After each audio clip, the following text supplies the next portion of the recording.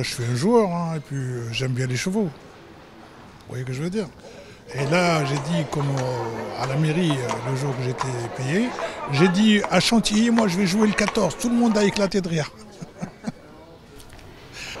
Cap sur le beau domaine de Chantilly le 21 juin pour la troisième journée des sorties de printemps. Ils ont été près de 800 seniors à profiter de la traditionnelle invitation de la mairie. On a eu une visite ce matin des grandes écuries avec une démonstration équestre.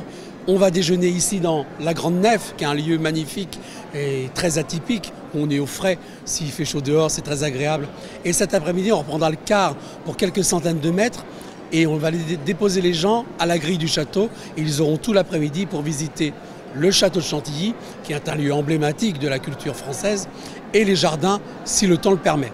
Ce qui m'a surtout marqué, c'est le, le musée. L'aspect historique, euh, culturel et en même temps euh, euh, le cheval à travers l'histoire. Il y a aussi la, la démonstration. Et j'ai appris des choses.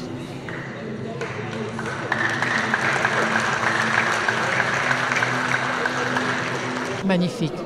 Je l'avais fait il y a très longtemps déjà à Chantilly. En, personnellement, mais je n'étais jamais revenue. Et là, j'ai vraiment euh, envie de, de, de conduire mes petits-enfants.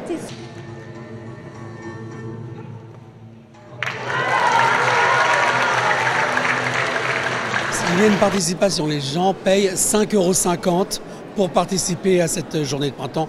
Ça s'adresse prioritairement aux bénéficiaires de l'allocation trimestrielle et des aides sociales municipales.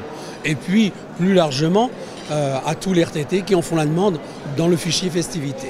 Il y a beaucoup de personnes ici qui participent déjà à l'espace senior, aux activités quotidiennes de l'espace senior et qui ont l'habitude de faire des sorties ou des voyages, etc. Pour une autre partie de la population, plutôt plus isolée ou plus renfermée, on parlait de l'aide sociale municipale, ces gens-là qui ont peu de moyens, c'est la sortie exceptionnelle, c'est la sortie de l'année.